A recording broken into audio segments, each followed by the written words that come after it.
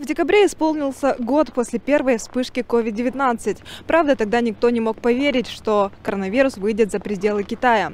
Но это случилось. Повсеместное заболевание сплотило многих, а бизнесмены, которые сумели остаться на плаву, стали помогать медикам. Акционерное общество РНГ оказалось в числе первых, кто помог Мирнинской центральной районной больнице. Специально для этого в нефтяной компании запустили программу РНГ медикам. Компания изыскала средства, мобилизовала собственные ресурсы снабжения и на протяжении всего года поставляла недостающие медикаменты и оборудование Мирнинской больницы. 2020 год показал, что самое ценное – это человеческая жизнь и здоровье. В компании «Помощь местной системе здравоохранения» поставили на поток еще в марте.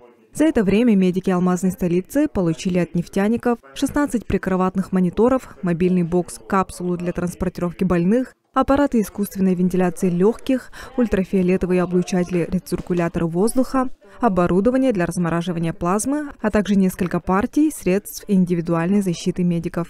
Сами помните, было очень сложно доставать СИЗы, антисептики, тогда еще в России этого не было. И они вот первые, вот как и акционерная компания «Алроса», и также РНГ, они нам первые помогли. И поэтому нашим врачам было очень, нашим сотрудникам было просто и э, просто и легко работать, потому что и предоставили а нам, э, нам они именно, конечно, качественные СИЗы. Да? Вот так же, как сегодня мы получили от них очки, э, маски, также получим костюмы «Дипонт». Благотворительный проект РНГ медикам отметили и на всероссийском уровне. Нефтяники стали победителями федерального и регионального этапов премий для СМИ и пресс-служб топливно-энергетических компаний «Медиатек» в номинации «Социальная и экологическая инициатива». В режиме онлайн лучших поздравили представители правительства страны. Когда мы начинали этот проект, разумеется, мы не думали ни о каких э, премиях. Наша главная задача была оказать действительно нужную и важную помощь.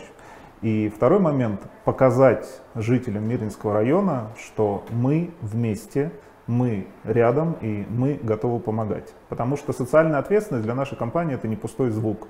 Это наша основная задача.